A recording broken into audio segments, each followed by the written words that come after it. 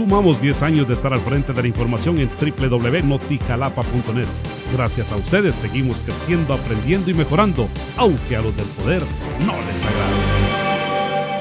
Se planifican simulacros de sismo en centros educativos e instituciones a lo largo de este año, así lo dijo el licenciado Álvaro García, delegado de la CONRED. Eh, durante este año, este, según este, el Ministerio de Educación, particularmente en el Departamento de Jalapa, se tiene contemplada una agenda de trabajo en donde algunos, algunos este, a nivel educativo tienen que realizarse algunos simulacros en algunas escuelas. Normalmente pues, este, son los, los maestros o los directores los que vienen, vienen a la oficina a presentarnos sus solicitudes de apoyo, en algunos casos para capacitar y otros para, para hacer algunos ejercicios de simulación.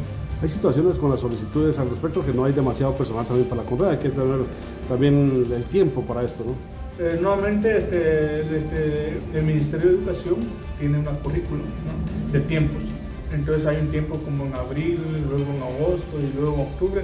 Son tres tiempos en que tienen organizado para poder hacer ese tipo de ejercicios.